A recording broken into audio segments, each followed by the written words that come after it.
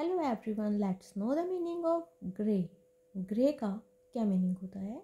Grey is a neutral achromatic colour midway between white and black यानी grey का मतलब होता है सफ़ेद और काले के बीच का एक तटस्थ एवर्णी रंग, यानी स्लेटी धुमेला, यानी धुएँ जैसा कुछ ग्रे स्लेटी.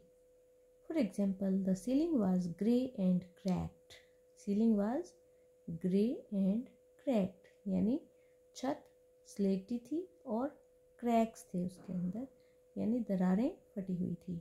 आज की इस वीडियो में बस इतना ही। Thank you for watching